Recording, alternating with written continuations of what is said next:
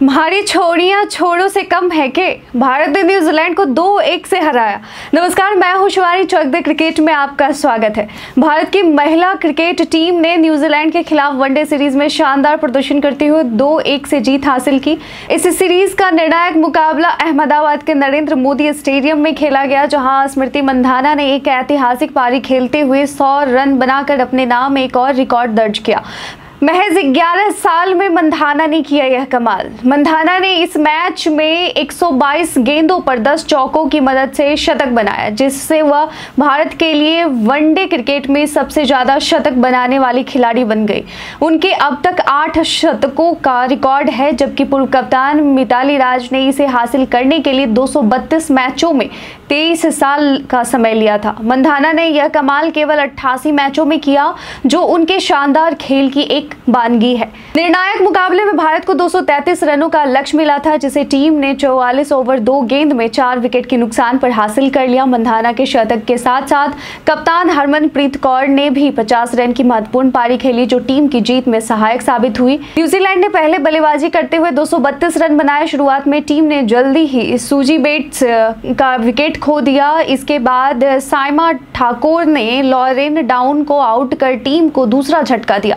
New Zealand New Zealand की कप्तान Sophie Devine भी जल्द ही पवेलियन लौट गई। जॉर्जिया प्लीमर ने सबसे ज़्यादा उनचालीस रन बनाए, लेकिन उनकी पारी टीम को जीत दिलाने के लिए पर्याप्त नहीं रही। दीप्ति शर्मा की शानदार गेंदबाजी। भारत की गेंदबाजी में दीप्ति शर्मा का शानदार प्रदर्शन रहा। उन्होंने तीन विकेट लेकर न्यूजीलैंड की बल्लेबाजी को ध्वस्त कर दिया। प्रिया मिश्रा ने दो विकेट लिए, जबकि सायमा और रेणुका ने एक एक विकेट चटकाए। इस जीत के साथ ही भारत ने अपनी स्थिति को मज़बूत किया है और आगामी दिसंबर में ऑस्ट्रेलिया के खिलाफ होने वाली वनडे सीरीज़ के लिए आत्मविश्वास प्राप्त किया है। मंधाना का यह रिकॉर्ड न केवल उनकी व्यक्तिगत उपलब्धि है, बल्कि यह भारतीय महिला क्रिकेट के लिए भी एक नई दिशा है। मैच के बाद कप्तान हरमनप्रीत ने प्रेस कॉन्फ्रेंस में कहा कि यह हमारे लिए महत्वपूर्ण था क्योंकि हम किसी भी कीमत पर यह श्रृंखला जीतना चाहते थे।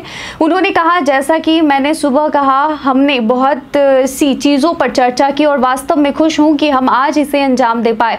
जब भी हम खेलते हैं तो अपना शत प्रतिशत देना चाहते हैं, लेकिन कभी कभी चीज़ें आपके हिसाब से नहीं होती हैं।